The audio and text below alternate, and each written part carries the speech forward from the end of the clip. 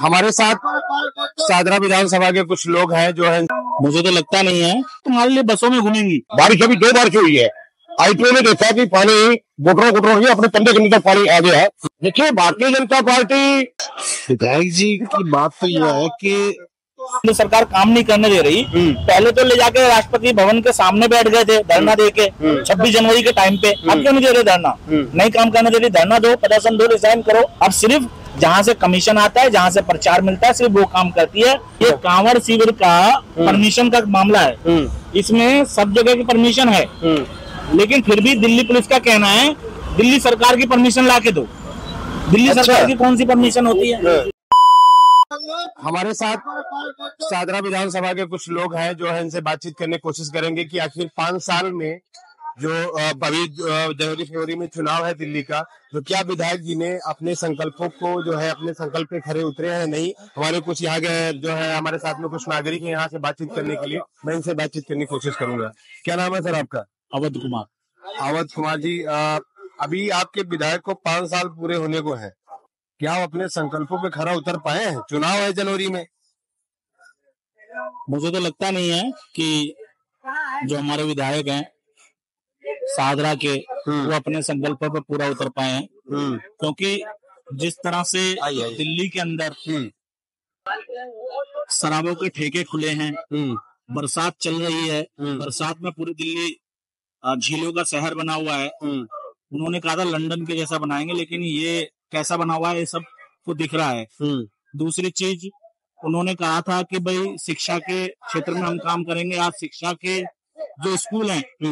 बरसात के मौसम में उनमें बैठने की जगह नहीं है। नाले कैसे खुदे पड़े हैं देखा है आपने? तो मुझे नहीं लगता कि विधायक अपने किसी भी वादे को पूरे कर पाए। अभी जैसा कि आपने देखा है कि एक बस को लेकर हो तो महिलाओं के लिए बस फ्री हो मोहल्ला क्लिनिक हो तो कहीं ना कहीं ये ये सही नहीं है क्या? नहीं कहाँ सही है? कहाँ सही है? भाई कमाने जाता है आदमी। बस फ्री कर रहे हो महिलाओं के लिए। हम्म भाई एक घर में चार मर्द हैं कमाने वाले। और दो महिलाएँ हैं जो घर का काम करेंगे कि तुम्हारे लिए बसों में घूमेंगी।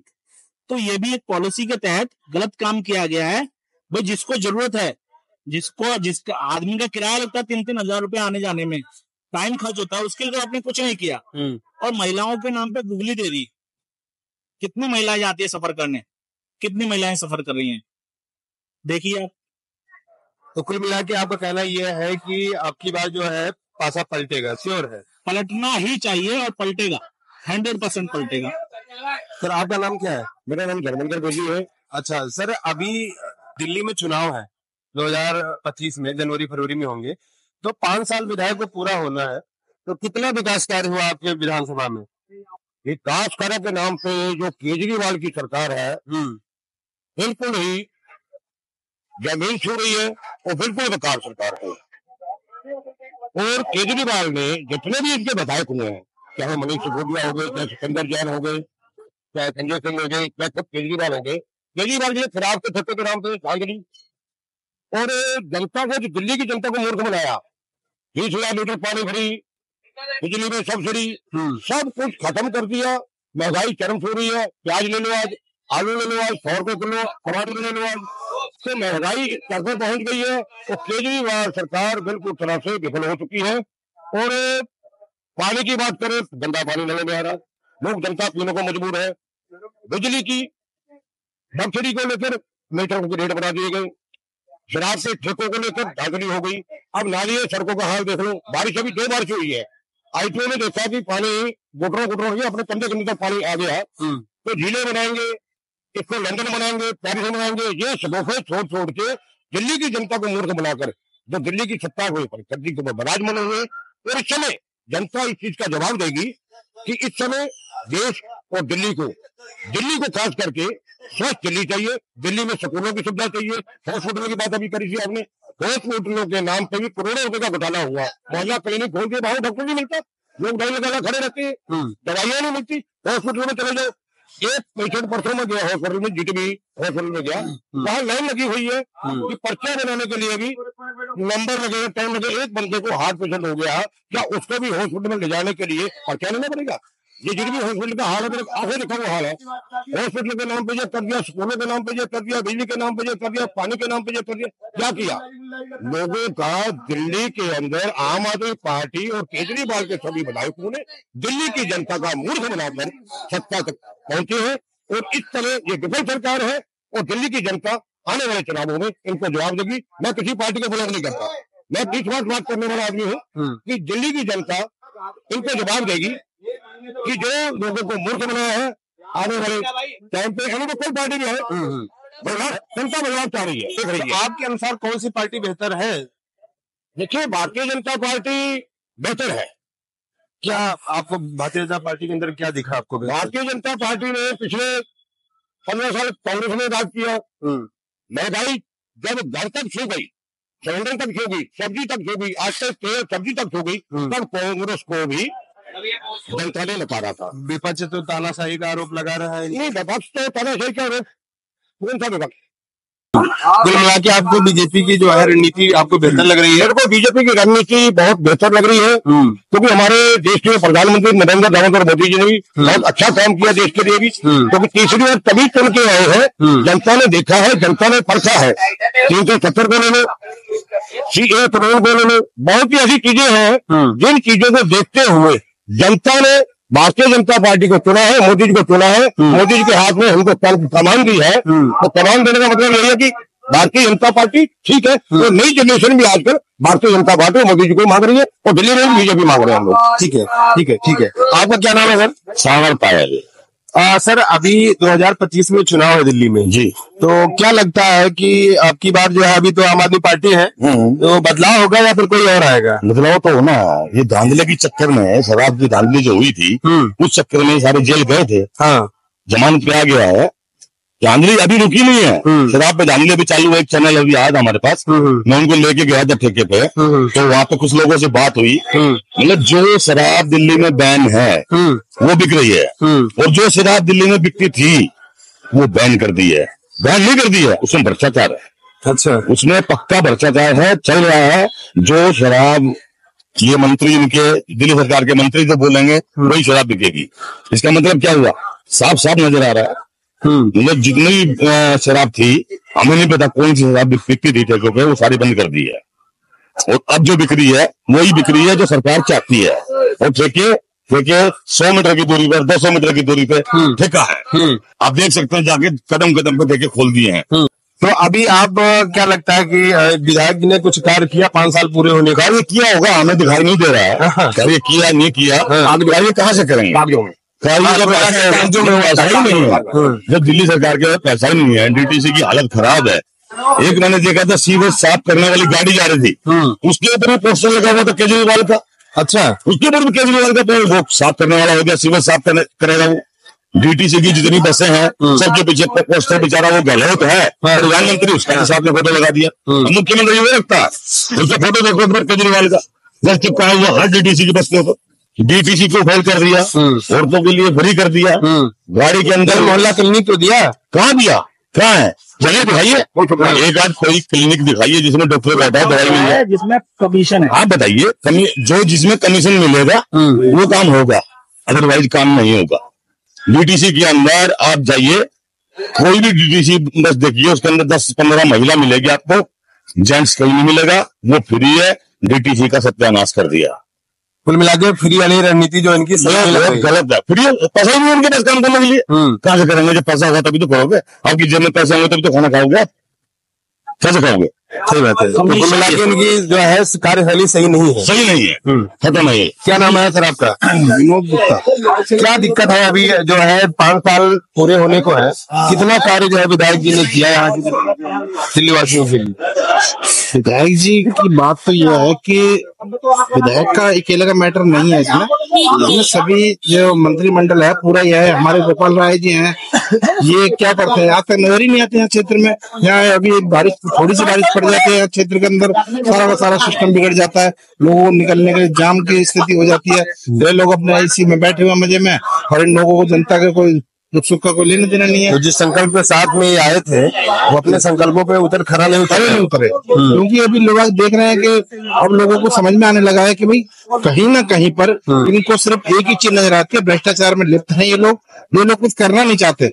ये लोग उनको मज़े मिल गए एसीओ में बैठे हैं अपना कमीशन इनके पास आ रहा है कागजों में सारे काम हो रहे हैं बस इनको यही काम करना है। नहीं वो तो कहते हैं कि जो है केंद्र में बैठी जो है बीजेपी हमको करने ही नहीं देती हमको जो है कुछ काम ऐसा कुछ। देखिए उनके पास कोई और मुद्दा तो है ही नहीं।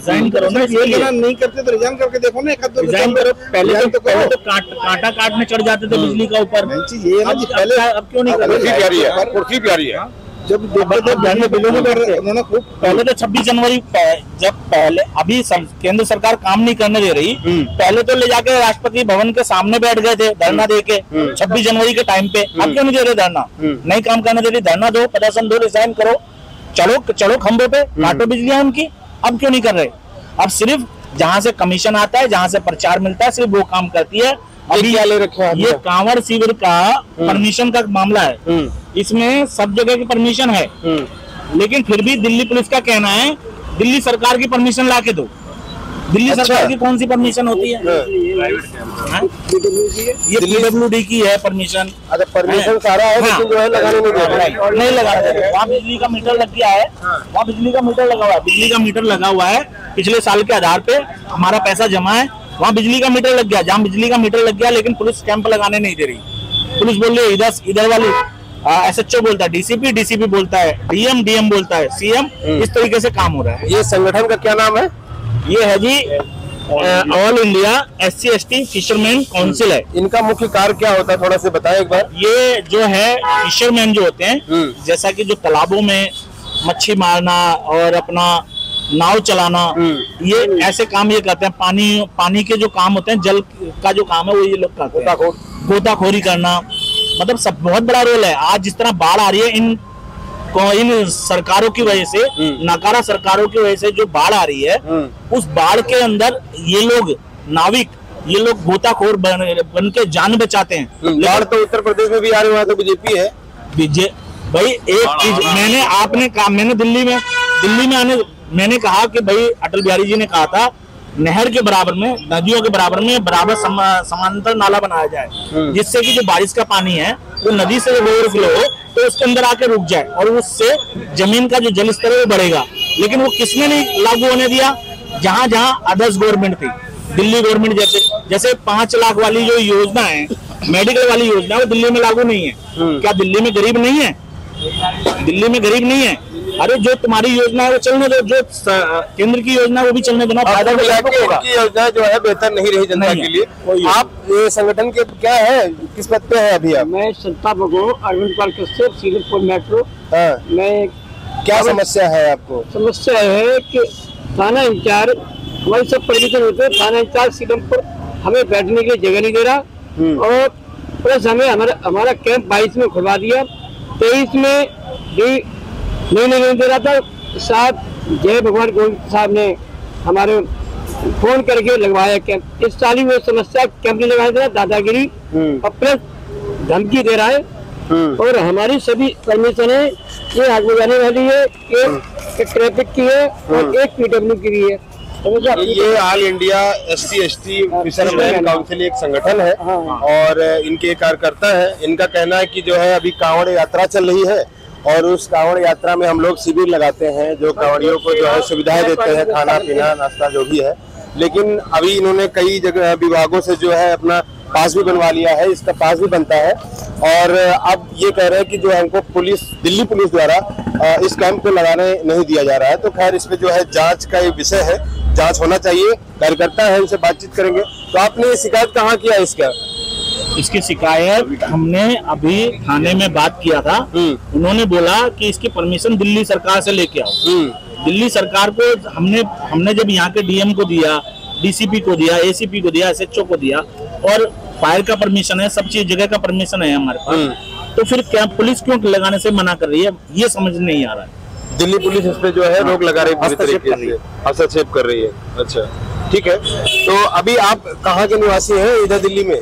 दिल्ली में धर्मपुरा गांधी नगर विधानसभा गांधी नगर के तो एस टी एस टी समाज के आप जो है ये संगठन डाल रखे हैं। हाँ, हम दिल्ली में क्या लगता है? अभी जो है केजरीवाल सरकार है 2025 में चुनाव है और इनके मंत्री जेल में है। तो उम्मीद क्या है कि प्रभाव इसका पड़ेगा चुनाव में या फिर पूरा पड़ेगा ही पूरा पड़ेगा। विधानसभा में आने वाली भारतीय जनता पार्टी पूरे दिल्ली हिंदुस्तान में आई हुई है तो ये दिल्ली का दिल है आप क्यों नहीं आएगी हाँ भारतीय जनता पार्टी क्यों आएगी उसका क्या लगा आपको कारण ये है हाँ। कि यहाँ पर ईमानदारी है ईमानदारी से भारतीय जनता पार्टी काम हो रहा है हिंदू नेतृत्व में काम हो रहा है हम्म। और अपने विद्या मंदिर में बड़ा अच्छा रोल किया हम्म। जो आज तक कांग्रेस ने यहाँ पार्टी की नहीं कर पाया। हम्म। ये पूरा हिंदुस्तान बड़े जानता है हम्म। हमारे मोदी योगी जी की सरकार सबसे बेस्ट है। हम्म। इसमें कोई घोटाले नहीं है। ईमानदारी है। ईमानदारी से दारू रोटी खाओ प्रभु के गुण गाओ। अच्छा। हाँ और अपने माता पिता का सम्मान करो तो कुछ काम करो। अच्छा ठीक है। केजरी केजरीवाल जी वापस आएँगे 2025 में? नहीं आएँगे। नहीं आएँगे। नहीं आएँगे। एक बात और कहना चाहता हूँ। कि जो केंद्र में जैसे दिल्ली ने सातों सांसदों को बनाया है तो जादो, जो सातों सांसदों का काम है, वो देखिए दिल्ली के अंदर, नॉर्थ ईस्ट के अंदर तीन केंद्रीय विद्यालय बने।